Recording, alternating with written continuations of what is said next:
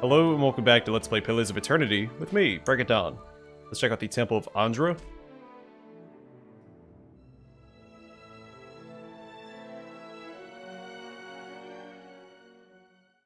Right. Keeping quiet. Okay, this is where Ochrune stuff is at, most likely. Carvings dedicated to Ondra adorn every inch of this large wooden chest. His lid appears firmly secured, even with no latch or locking mechanism in sight. Inspect the chest. The chest seems old, its wood cracked and bleached by the passage of time. Before you can take a closer look, the Acolyte snaps around to face you. Don't touch that. His voice cracks like a whip. The other Acolytes look at him as if to urge some composure. He frowns. I mean to say, that sacred Ondra. Please, leave it alone.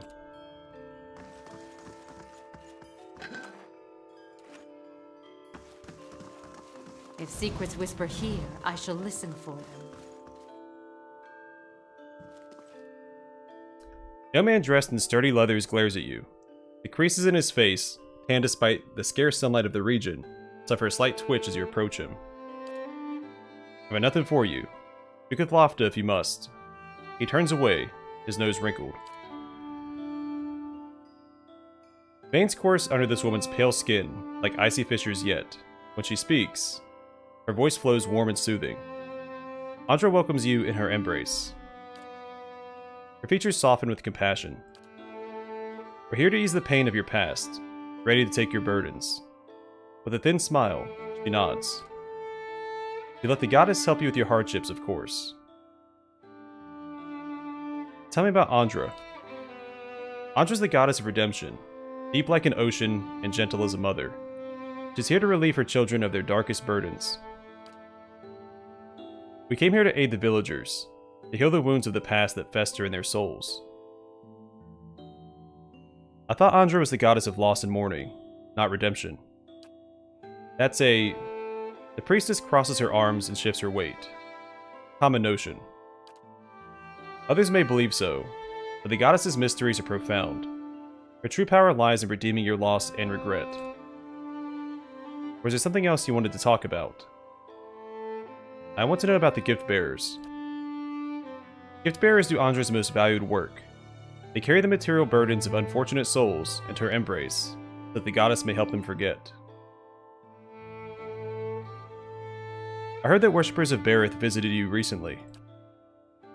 Little happens around here that doesn't end in the mouths of villagers, who are obliged to assist everyone, regardless of their faith. A group of women came to us, yes. The leader wanted to know of Durgan's battery. I obliged, and pointed them in its direction.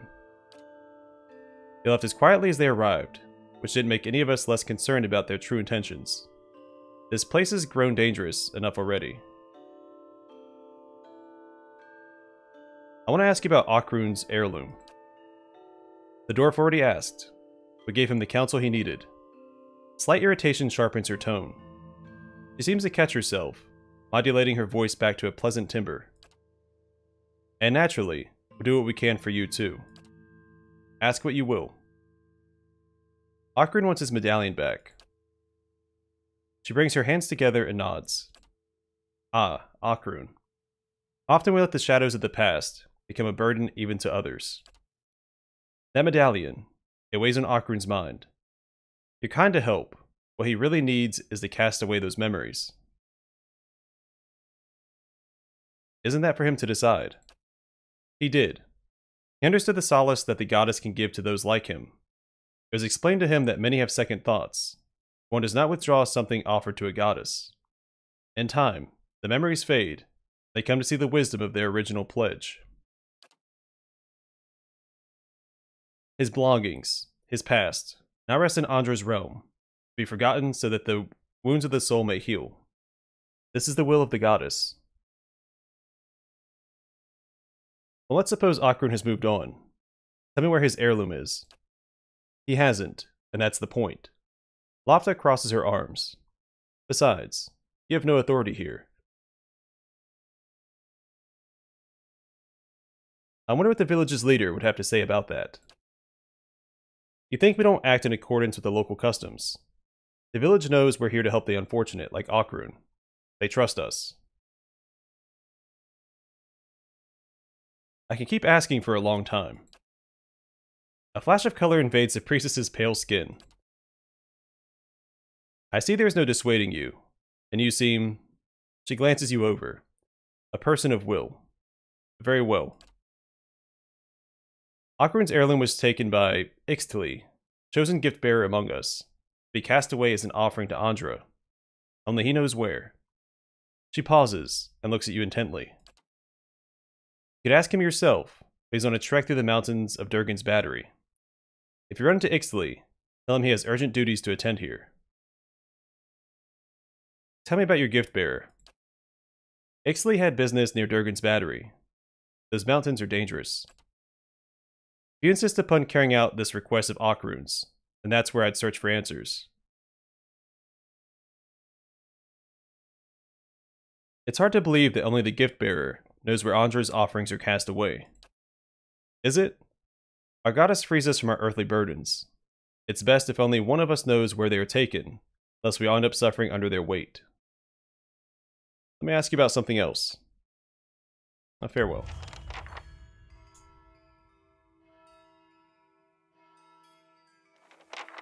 So I wonder if his armor's in this chest then. Something else altogether.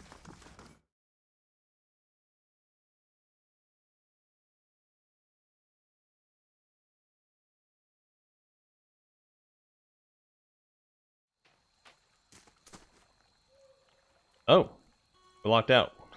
okay. As you step outside, the heavy wooden door of the temple slams shut behind you. You hear someone barring it from the other side. It sounds like the priests have engaged in an agitated conversation. You get the sense that they are discussing you. You're also certain that the door is too thick to eavesdrop through, although there may be other places nearby where you'd stand a better chance. Can't believe this. The wooden shutters of the temple's window closed tight, muffle a set of voices coming from within the building. Can't quite make sense of the murmur, but cracking a shutter open would likely help. Rusty iron latch, sorry, a rusty iron latch holds the window shutters closed. With care, you should be able to unfasten it without being noticed. You unfasten the latch. You carefully begin to lift the latch from its metal hook. Halfway there, the rusted iron resists with a screech. You freeze, listening to the voices in hopes the priest didn't hear. Their conversation continues uninterrupted.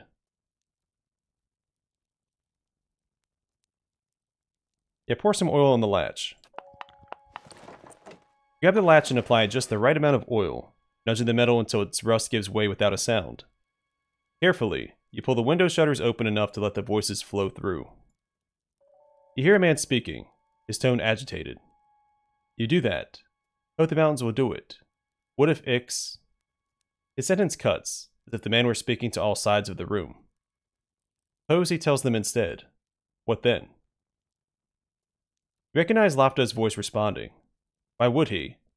With those dangers near the battery, our gift bearer won't delay. I expect the... The man interrupts her. You always expect. Look where that's taken us. A dying village. Ogres at the walls. Ixtli's not back yet. Now I have to do his pot. His voice is it? His voices. His voice drops and seethes, muffling what he has to say. After a moment, Lofta replies, You think I wanted this? That I could have known in advance? A pause ensues, the tension growing until the priestess's voice cuts it in half. We can't wait for him. Must fish out the last batch quickly. After that, we'll decide. The man responds in a broken voice, barely audible. He only distinguish the last words. In that rusted wood pond, I'll go. The exchange seems to end. Cautiously, you step away from the window of Ondra's temple.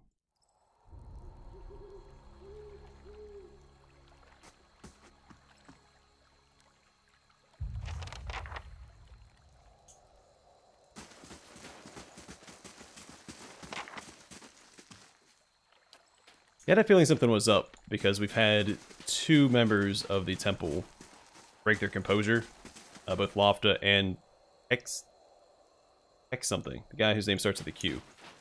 Say, I don't suppose you've seen any mysterious old buildings in the mountains lately, have you? The aumaua wears an assortment of bangles, bands, cuffs, and chains as thick as armor. She watches you with a raised eyebrow and eyes gleaming with mirth. You mean Durgan's battery? No, but I've heard that name a lot around here. I'm looking for the Abbey of the Fallen Moon. It's an obscure temple dedicated to Ondra. Why are you looking for the Abbey? I'm a gift bearer. My job is to gather tokens of things people want forgotten and surrender them to the Lady of Lament. Best place to do that is the Abbey of the Fallen Moon. What kinds of tokens do you take? Anything that represents a moment or a memory someone wishes to leave behind. Well, love notes, awkward family heirlooms, bad poetry, the kinds of things you want to forget. I see. I might be here a while. Half the villagers have never heard of the Abbey, and the ones that have, no one knows where it is. So I'm trying to think of this as an extended holiday in a remote mining village that smells like fish. I've got business in the region. We could travel together. You won't regret it. I've got a lovely singing voice. And the company's welcome. She winks at Pallegina. Okay, so I would like to use the DLC companions in the DLC.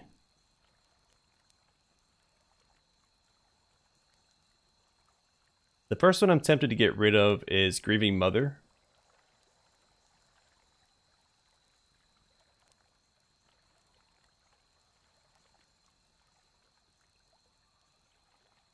So they give me a lot of melee characters, though.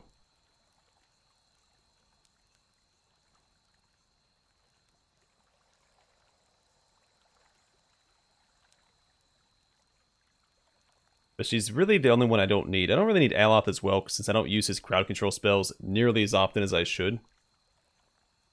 I will wait in the place of your strength. Yeah, we'll leave her back at our stronghold. We'll bring her along instead. Alright, what she got going on? Good might, good constitution. Barbarian, Coastal Aumaua. Alright, let's take a look at what she's got. Tell me. It's a barbaric yell. Let's out a terrifying yell, frightening enemies in the area of effect. Anything of note? Alright, all these can be gotten rid of. We'll give her some better equipment. There's a uh, Maneha's armor. Yeah, she never introduced us. Did introduced herself, did she? She never told us her name. The plus one move speed. So good, I can keep her in the back line in case we're ever ambushed, and have her just run to the front once everybody else is in position. Then also plus 25% healing received. Maneha's armor reflects her extensive travels and experiences on the roads and waves of Eora. It incorporates brass baubles, the teeth of ferocious creatures, a myriad small bits of fashion Maneha took a fancy to on her adventures.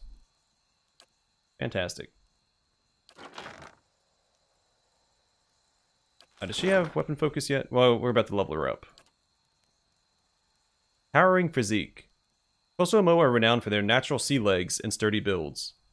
Whether it's due to their long history of seafaring or something that has been innate within them for generations, all coastal aumaua have an inherent resistance to being stunned or knocked prone. Carnage. The barbarian's attacks become so forceful as to impact others around the target enemy. For every successful melee attack, the barbarian makes, redu makes reduced damage attacks at all other enemies within a short distance of the target. I misread that there uh, for a second. But I did not. Alright, let's see what weapons we have. Take stock before I select which weapon focus for her. So we have clubs, we have... We could do Ruffian. I know we have a club and a saber. Those are both one-handed. I wouldn't mind someone using uh, Raven Wing either.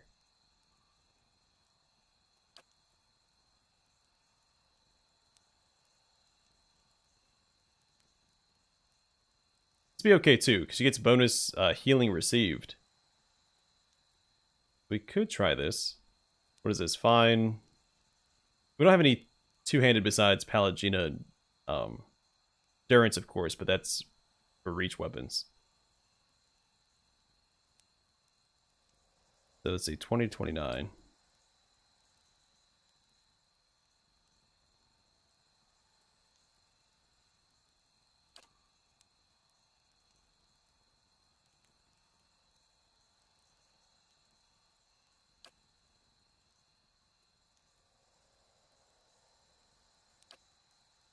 Yeah, I'll probably go with the self heal. I could dual wield, but I just don't like dual wielding. So, yeah, let's go and give her this.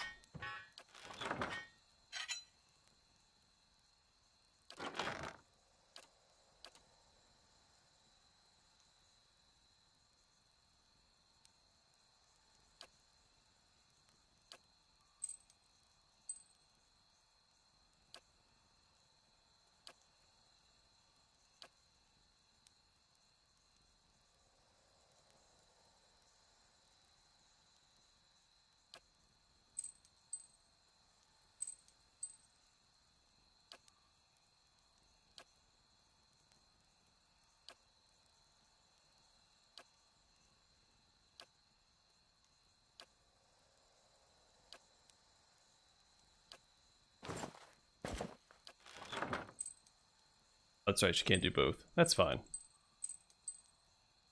I don't need boots, belts, or gloves, or helmets.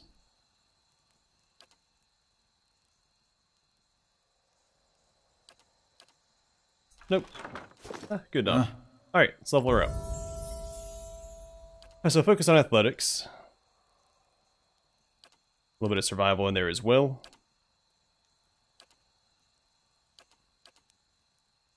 Uh, so accurate carnage. The barbarian learns to line up his or her most savage blows, improving the accuracy of secondary attacks from carnage. Okay, plus five accuracy to those. Fantastic.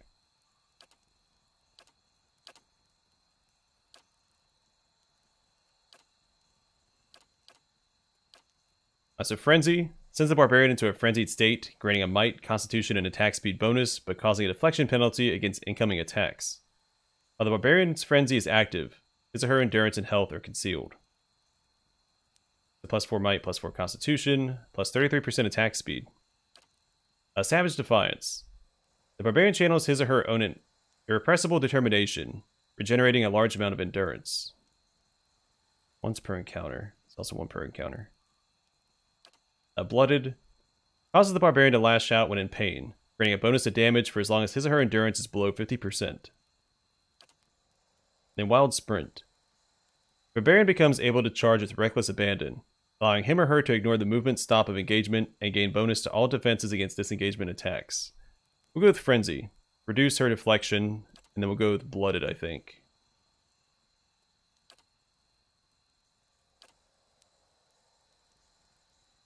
Yeah, Frenzy first.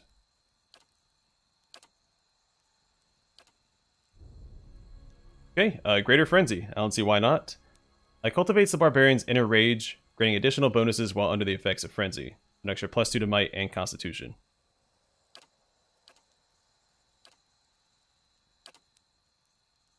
Ooh, new stuff. So I was going to get blooded, but we have brute force now. The barbarian hits so hard that ordinary means of defense can be easily overpowered. On attacks that normally target deflection, barbarian will instead attack fortitude, but it is a lower defense. That's nice. One stands alone. The barbarian makes a courageous stand against all attackers, grants a melee damage bonus when the barbarian is adjacent to two or more enemies, and the barbarian cannot be flanked unless engaged by more than three enemies. Bloodlust imparts an unquenchable bloodlust to the barbarian, increasing his or her speed temporarily in battle once he or she has personally downed at least two enemies. I like that one too. Let's go with Blooded first.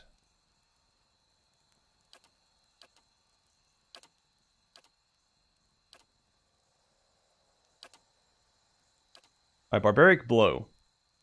The Barbarian deals a massive blow, causing additional crits and extra damage on crits. Carnage is not affected.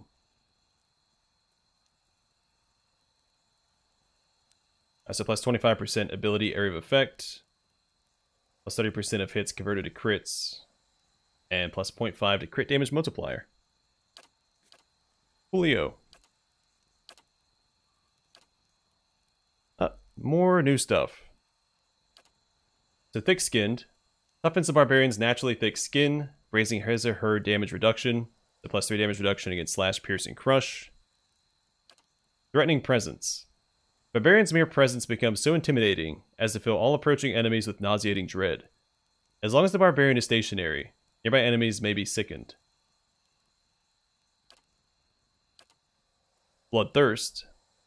After killing an enemy, the barbarian's recovery is waived, allowing them to attack again immediately. Seems really good too. I think I'm gonna go with brute force.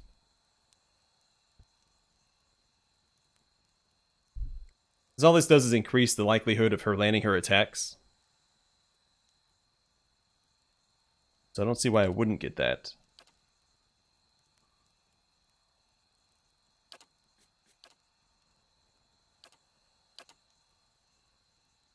Okay, we need to get a weapon focus type. Who focuses on... The knight does.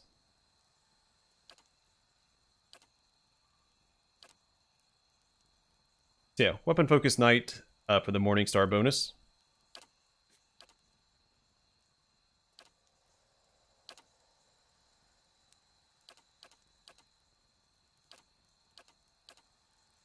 Alright, Barbaric Shout. Let's out a Dreadful Shout, terrifying enemies in the area of effect. And Vengeful Defeat. Exacts a final revenge when the Barbarian reduced to zero endurance, causing him or her to perform instant carnage full attacks at everyone in range.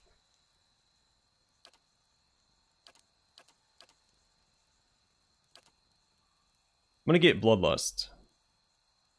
When she kills two enemies, she gets that 20% attack speed bonus.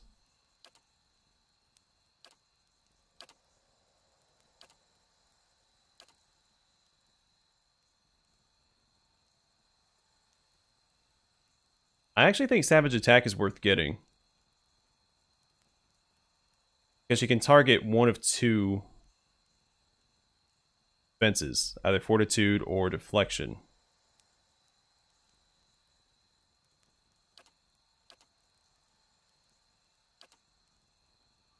So yeah, we'll grab uh, Savage Attack. By attacking with Unbridled Ferocity, characters are able to sacrifice melee accuracy for a significant boost in damage. Also makes her heal bigger as well. Yeah. Yeah, we'll keep her in the back. And once combat starts, we'll have her run into the front.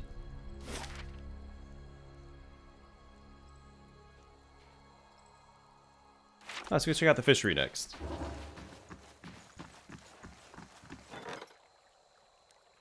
Lord Sidrock. A wealthy noble by the name of Lord Sidrock has arrived at the stronghold. He seeks your aid in defending his keep from his rivals. We have eight days to do that, so we'll finish exploring this place. We'll head back to Caed Nua afterwards. Fresh fish! Freshly caught!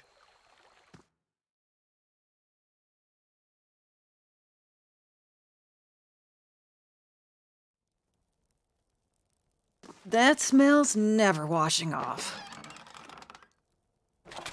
I don't have anyone that can stealth now. That's okay. I don't need to steal anyway. This tattered net appears to have been set aside for mending. Laying low. These roasting fish provide much of the pungent odor permeating, permeating the fishery. The dead eyes of a speckleback, iron-toothed pike, and frost diver fish gaze up at you.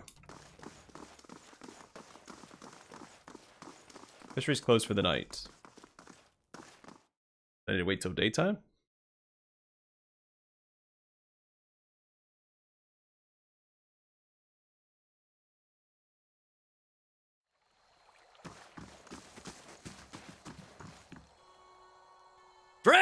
Effigy's eyes! It looks at me!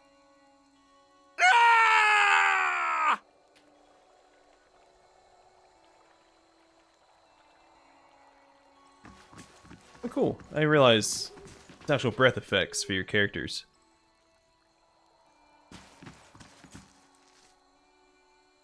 A dozen pairs of gl- globular eyes stare up piteously from the discarded heads of the day's catch, awash in a pungent sea of fins and innards. Sift through the fish scraps. Your hand runs up against something round and fleshy, the size of a melon. It is smooth and scaleless, and parts seem to be covered in hair. A discarded head, perhaps, but not that of a fish. Poke the head. The head shifts deeper into the barrel's slimy recesses. Pull out the head.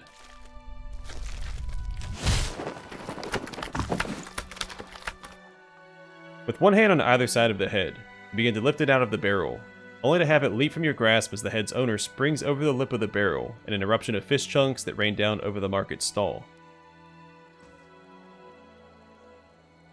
The man who leapt from the barrel stands facing you, nearly naked save for a loincloth and drizzled in fish viscera. Uh, he's covered head to toe in scars, hairs and punctures, and the thorny imprints of lashings. Most are faded, like old memories. Despite that, the condition of the man's body is remarkable. The drooping skin at his flanks and elbows, the only evidence of his advanced age. His face is placid, but the rest of him appears prepared for anything. You must forgive Zahua. I was not expecting you. He looks you in the eye at first, but his gaze drifts now and then, settling on strange parts of your face, as though distracted by new discoveries. He is at all flustered, he gives no indication. What were you doing in that barrel? Zahua scratches behind his ear, dismayed. Resting my eyes, I thought. Waiting for the Malkachoa to bring me insight. He shakes his head. It would seem I dozed. A good thing my master was not alive to see it. Zahua blinks, leaning in to get a better look at you. His enlarged pupils seem to crowd out his pale irises. Are you... Uh, are you real? Yes. Of course. I meant no offense. But I find it is best to ask when Malkachoa is involved. Malkachoa? A small white mushroom. I have heard it called snowcap in these lands. It can reveal the true nature of many things. You have a master, you said. The man traces your inadvertent glance at his scars. He smiles politely. A teacher, not an owner. Zahua is a free man. Well, as free as any of us. I, I still don't understand why you were in that barrel. I was freeing myself from vanity. Did he say sanity or vanity? Consider, how can one be vain who is bathed in the smell of dead fish? There's a proud glint in his eyes. Hard to argue with that. I had the idea when I passed this way earlier. I am pleased with the results so far. He smiles at the woman whose head is swiveled towards him as he passes by, a look of revulsion on her face. Distracted, her toe catches on a stone, and she nearly falls on her face. He claps his hands together. yes, quite pleased. He laughs triumphantly. Those scars are from battle. Zahua glances down at his body. From battle, yes. I left them upon my enemies. He points at various patches of crisscrossing scars. These were struck against fear. These against pleasure. These against hatred.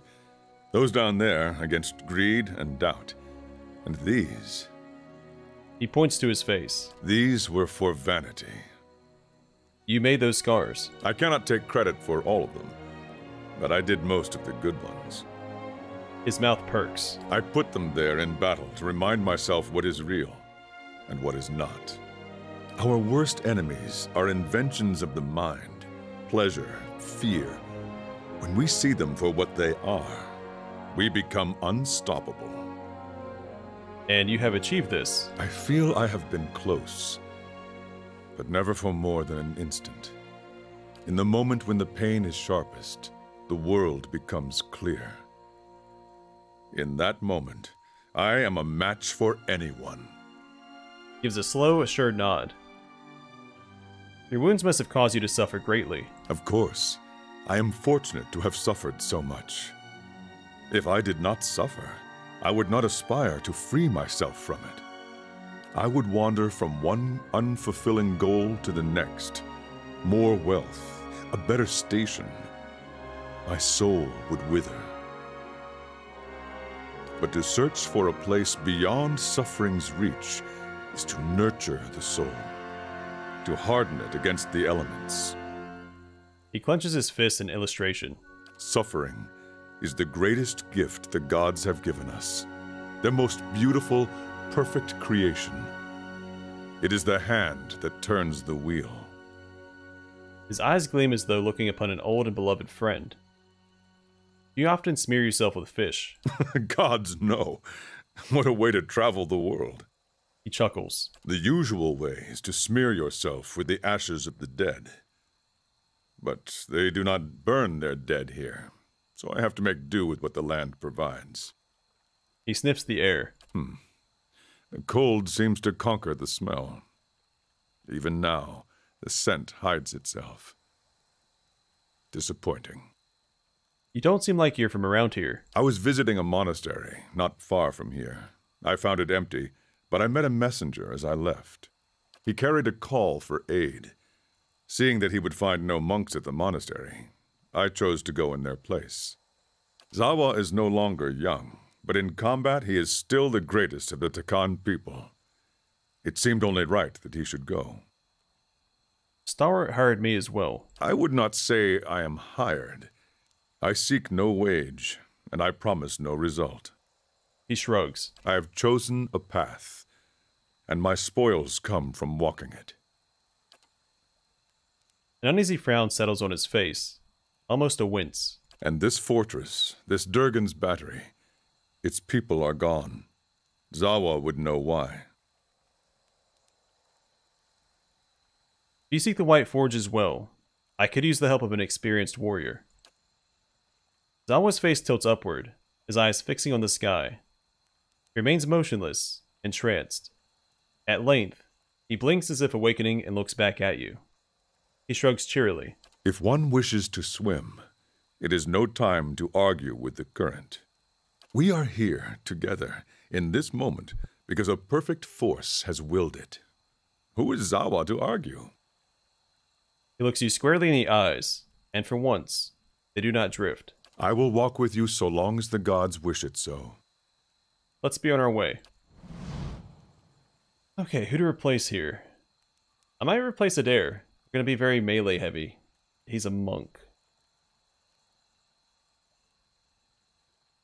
It's only for the DLC as well. See you when I see you. I'm ready. I don't like getting rid of Adair, but I think this will be better. Zahua is ready.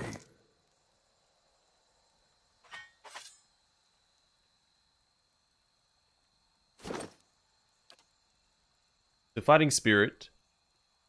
All folk have an indomitable spirit that rises to the challenge when things look grim.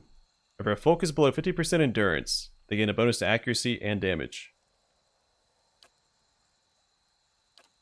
Torment's Reach. This ability, exploits the shared bonds of universal suffering between all things. The initial target is hit with a powerful blow that does additional crush damage. Enemies in a cone behind the target suffer crush damage and have their might reduced.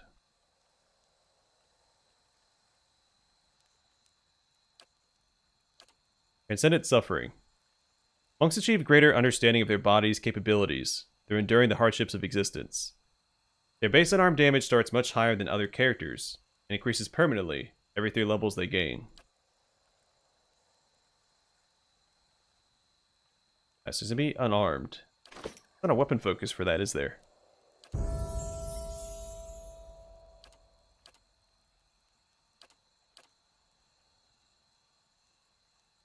He does have a point into stealth. Maybe instead of survival, I'll give him stealth in lieu of uh, Grievy Mother.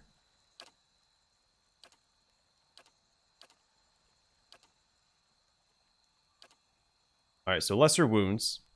Lowers the monk's wound threshold, allowing him or her to gain wounds at a faster rate.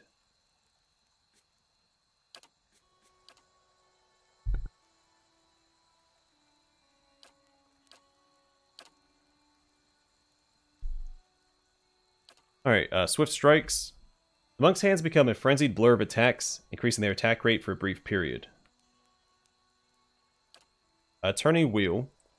The monk is able to channel physical pain into pure energy and redirect it at his or her attackers. While the monk has wounds, here she adds a proportional fire bonus to melee damage. Long stride.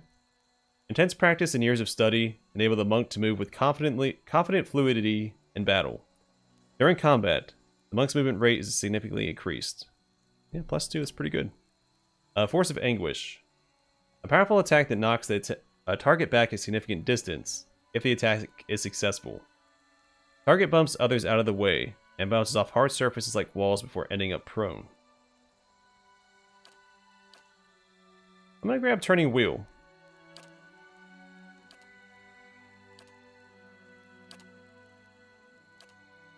Alright, uh, Mortification of the Soul. The monk immediately inflicts enough raw damage on himself or herself to gain a wound.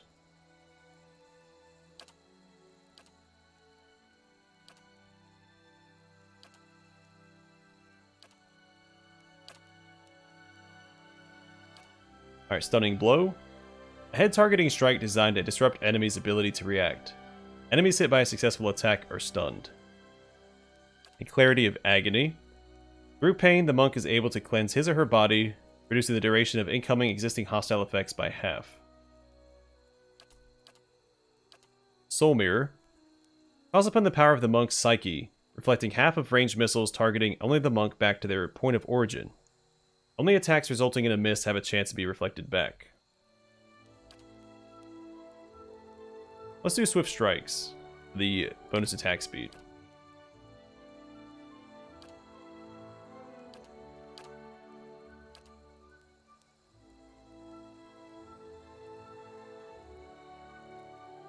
You get all of these? You get the fire and the shock damage? We'll try it anyway. This wasn't unlocked until this point.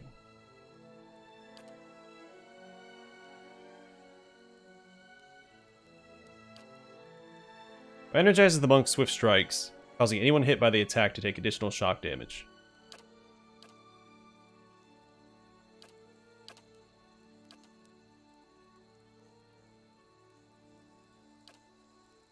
Alright, Crucible of Suffering.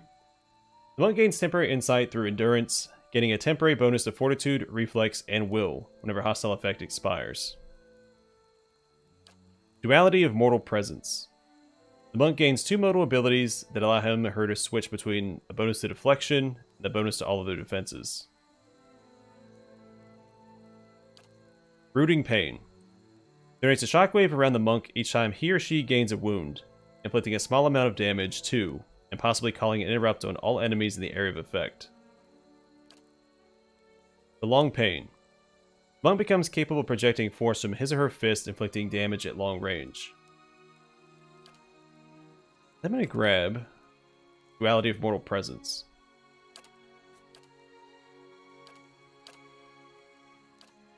And then I think there's no reason to use any of these, right?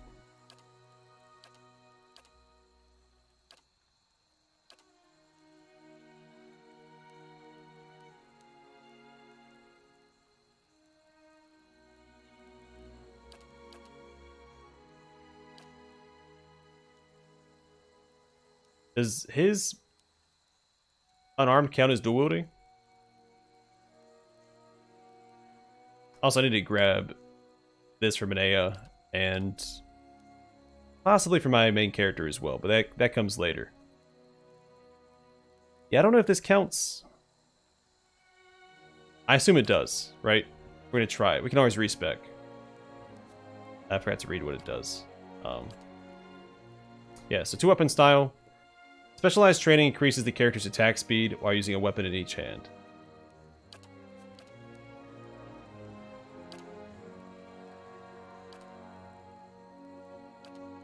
Enervating blows. By targeting certain points on an enemy, the monk is able to inflict physical weakness. Melee critical hits cause the target to become weakened.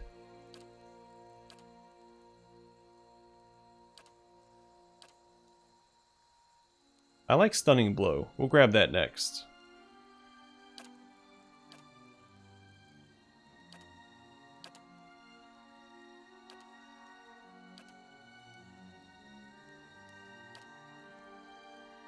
We'll grab Scion of Flame, and then we'll also get Heart of the Storm at some point.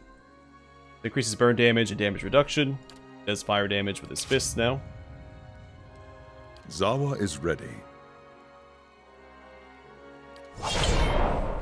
And turn that on. Zahua is ready. And we're gonna change up our party formation. I'll be in the front.